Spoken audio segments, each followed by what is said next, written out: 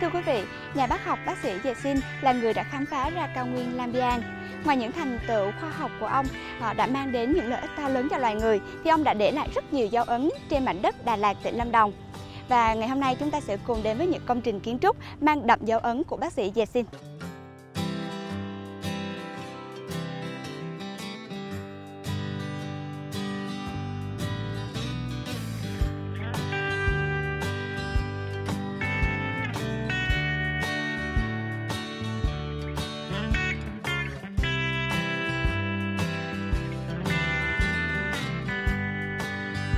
ngày 28 tháng 2 năm 1893 bác sĩ Giặc Sen rời ờ, Sài Gòn đến Biên Hòa.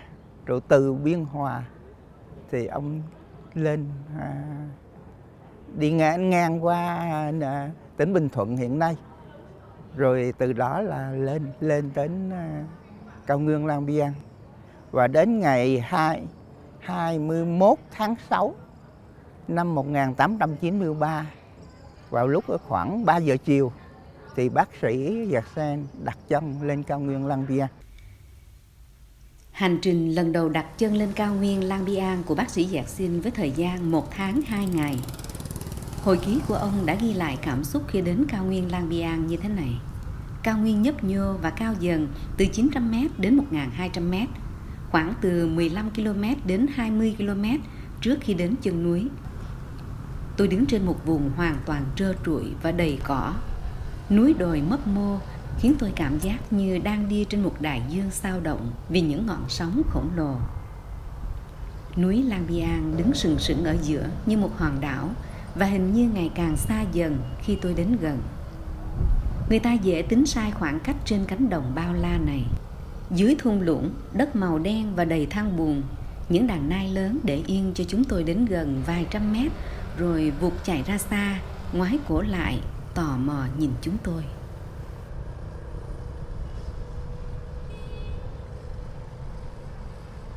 Năm 1897 thì sau khi nhận được thư của toàn quyền Bondume thì Giặc Sa đã gửi thư cho toàn quyền Bondume gợi ý thành lập Đà Lạt là, thành lập Đà Lạt đăng kia là nơi nghỉ dưỡng.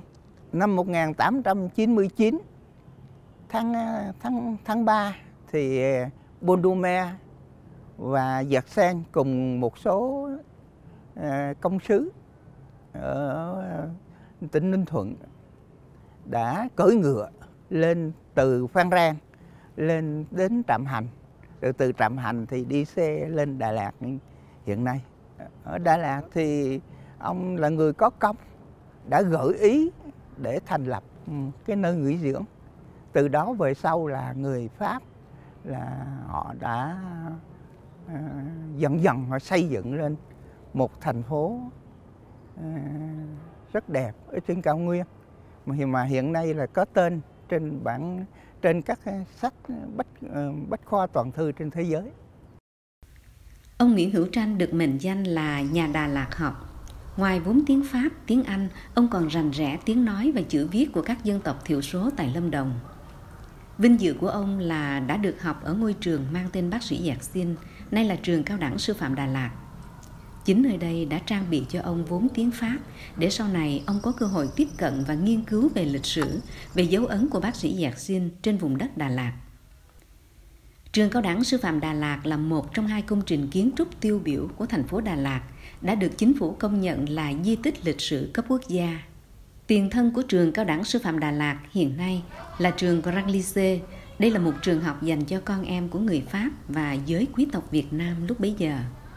Công trình này được kiến trúc sư người Pháp là Monse thiết kế và xây dựng vào năm 1927 với tòa nhà 4 tầng uốn cong. Trường Cao đẳng Sư phạm Đà Lạt được Hội Kiến trúc sư Thế giới công nhận là một trong 1.000 công trình kiến trúc độc đáo của thế giới trong thế kỷ 20. Cháu chào bác ạ. À. Dạ, chào con. Cháu được biết là bác đã học ở đây từ rất là lâu rồi phải không ạ? Dạ, chứ như vậy là học từ, từ à, năm 53, tức là hơn nửa thế kỷ một khoảng thời gian khá là dài Công trình trường cao đẳng sư phạm Đà Lạt hiện nay không khác nhiều so với lúc ban đầu. Kiến trúc và hạ tầng lúc ban đầu của trường gần như được giữ nguyên cho đến hôm nay. Mấy cái tường này là có được xây lại không bác hay là vẫn Không, giữ nguyên vẫn nè? như cũ.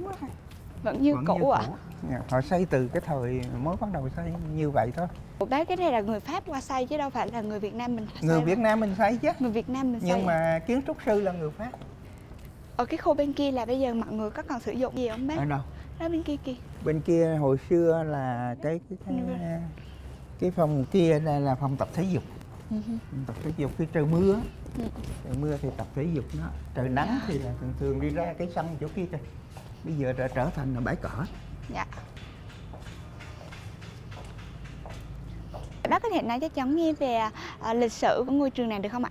trường này năm à, năm 1929 thì cái ngọn đồi này này người ta bắt đầu vừa được san san bằng và người ta xây xây xây dựng à, thành là trường gọi là trường răng à, trường răng lycée lúc đầu thì mang tên là răng lycée thôi Đấy. tức là một trường trung học lớn vậy thôi à, nhưng mà tên đến ngày 28 tháng 6 năm 1935 à, thì nhân cái dịp lễ phát phần thưởng thì bác sĩ Giặc Sen từ Nha Trang lên đây đã dự lễ phát phần thưởng và trường này được đặt tên là trường Lycée Giặc Sen Đà Lạt.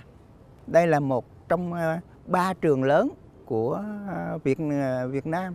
Ở ngoài ba Hà Nội thì có Anh Vesaro, ở trong Nam thì thì có sách Lulu Ba rồi sau đổi là Răng Rắc Rousseau, rồi về sau thì hiện nay là trường Lê Quý Đôn và học sinh ở trong trường này đó thì ngoài học sinh Việt Nam ra thì còn có học sinh Lào, Campuchia và Thái Lan. Trong dịp lễ phát phần thưởng của trường mà ông Nguyễn Hữu Tranh vừa nhắc đến, bác sĩ Giạc Sinh đã phát biểu với học sinh của trường. Tôi rất cảm động về cảm tình các em dành cho tôi. Các em hãy tin chắc rằng tôi rất quý mến các em. Các em tập hợp quanh tôi làm cho tôi trẻ lại và gợi nhớ đến thời xa xưa. Ngày ấy, là một học sinh trẻ tuổi, tôi thường táo bạo mơ mộng đến một tương lai đầy mạo hiểm mà hoàn cảnh cho phép tôi thực hiện. Các em khiến tôi hồi tưởng lại sự phát hiện cao nguyên La vào tháng 6 năm 1893 trong chuyến đi khảo sát với mục đích thám hiểm vùng rừng núi Nam Trung Kỳ lúc bấy giờ hoàn toàn chưa ai biết đến. Trường Cao đẳng Sư phạm Đà Lạt hiện nay là trường công lập, được thành lập từ tháng 9 năm 1976 theo quyết định của Bộ Giáo dục và Đào tạo. Từ đó, Trường Cao đẳng Sư phạm Đà Lạt đảm nhận trách nhiệm đào tạo nhân lực về sư phạm cho tỉnh Lâm Đồng và một số tỉnh thành lân cận. Công trình này được xây dựng là với một cái sự ờ, Ờ, đóng góp rất lớn của những cái người thợ của Việt Nam, tức là những cái người thợ giỏi của người Việt Nam thì được ờ, người Pháp họ đưa đến họ tuyển dụng ở khắp nơi trên cả nước về đây xây dựng. Và những ờ, cái công trình này thì nó mang dáng dấp của của cái quê hương của bác sĩ ờ, Giạc Xin đó là ở cái đất nước Thụy Sĩ và gắn với lại cái phong cách của nước Pháp, châu Âu nữa đó là gì ạ? Cái tòa nhà cong này á, là cái tháp bút được xây dựng cao vút lên và là cái tòa nhà cong nó giống như nó ôm cái mái trường lại. Ờ, và xung quanh các cái tòa nhà như là nhà hiệu bộ hay là nhà để cho các cái ờ, giáo sư người Pháp người ta ở đó thì lại mang dáng dấp của phong cách châu Âu như vậy. Nó kết hợp vừa phong cách của Thụy Sĩ, vừa phong cách của Pháp. Những cái vật liệu của, để mà xây dựng nên ngôi trường này đó thì ờ, ví dụ như là những cái viên ngói lợp ở trên cái tháp bút, cũng như là là cái mái nhà thì đầu tiên là người ta dùng toàn bộ bằng ngói đen đưa từ Pháp sang còn những cái viên gạch này cũng vậy vậy gạch để dán bên ngoài ngôi trường này như vậy chúng ta nhìn thấy là gần 100 năm nhưng viên gạch vẫn sáng và nó không bị mọc rêu ở trên đấy đấy là những cái cái độc đáo Tôi đang đi đến Viện Pasteur. Đây chính là công trình mang đậm dấu ấn của bác sĩ Yasin. Lúc đương thời, chính bác sĩ Yasin là người đã đề xuất xây dựng công trình này.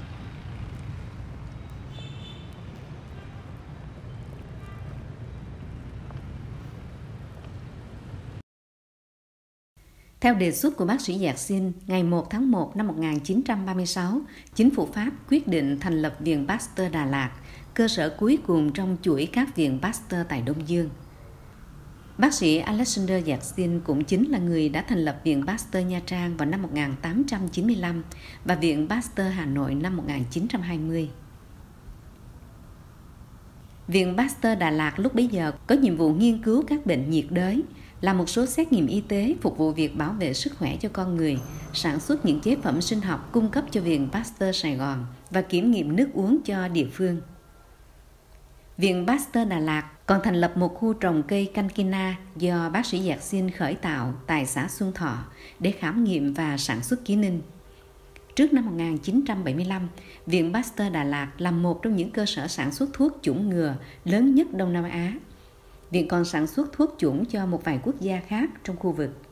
Sau năm 1975, Bộ Y tế Việt Nam quyết định thành lập Trung tâm Nghiên cứu và Sản xuất Vaccine Quốc gia dựa trên ba cơ sở, Viện Pasteur Đà Lạt, phòng sản xuất của Viện Pasteur Nha Trang và phòng sản xuất vaccine của Viện Vệ sinh Dịch tễ Hà Nội. Qua nhiều lần thay đổi tên gọi, song vẫn giữ chức năng chính là sản xuất vaccine như Viện Pasteur Đà Lạt lúc ban đầu mà bác sĩ Giạc Xin đề xuất xây dựng trên cao nguyên Lang Biang này. Hiện tại tôi đang đi trên con đường mang tên của nhà bác học bác sĩ Dạc Xin và không phải ngẫu nhiên mà người dân Việt Nam lại dành tình cảm cho ông nhiều đến như vậy và chắc chắn là tình cảm này rất sâu đậm mà người dân đã dành cho vị bác sĩ đã rất nặng tình với mảnh đất này.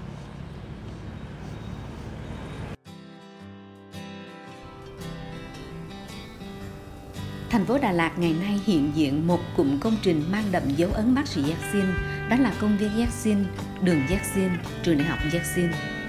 Con đường Yaxin nằm giữa công viên Yaxin và bờ hồ Xuân Hương là điểm nhấn của thành phố Đà Lạt và cũng là nơi tham quan của nhiều du khách gần xa.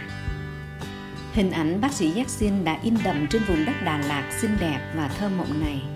Với người Lâm Đồng nói chung và người Lạch, một dân tộc thiểu số cư trú lâu đời ở Lâm Đồng, tên tuổi của bác sĩ giác xin khó phai mờ trong tâm trí của họ. Bác sĩ dạ Yaxin đã mãi mãi nằm lại trên xứ sở Trầm Hương Nha Trang, quê hương thứ hai của ông, trong sự yêu thương và kính trọng của người dân Việt Nam. Quý khán giả thân mến, trải qua hơn 125 năm hình thành và phát triển, thành phố Đà Lạt nay đã khác xưa rất nhiều.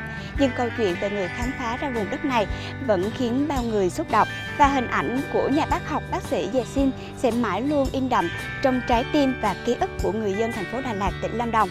Và đến đây thì chương trình Chuyện cũ dấu xưa xin được dừng lại. Cảm ơn quý vị đã quan tâm theo dõi. Kính chào và hẹn gặp lại.